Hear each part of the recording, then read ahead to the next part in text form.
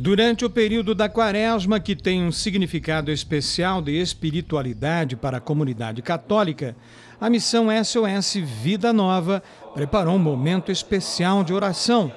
Todas as sextas-feiras, às 6 horas da manhã, aberto à comunidade, será realizada via sacra no Bosque da Missão, momento de oração que começa na igreja com a participação de todos.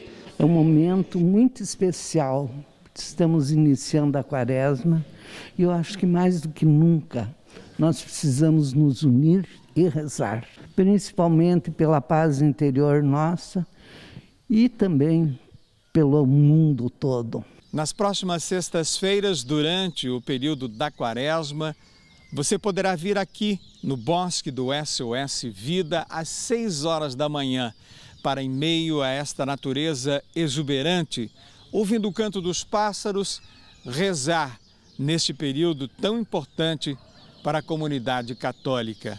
Agora, todos saem em via sacra, é, entre as árvores aqui do bosque do SOS Vida, rezando numa manhã diferente.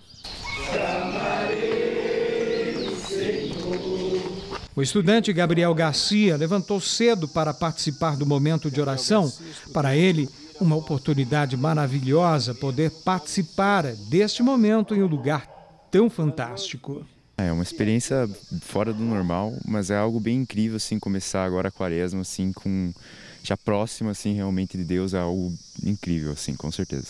A Via Sacra vai acontecer todas as sextas-feiras às 6 horas da manhã e todos estão convidados. Esse tempo nos convida a viver esse tempo de espiritualidade, de caminho junto a essa quaresma, né?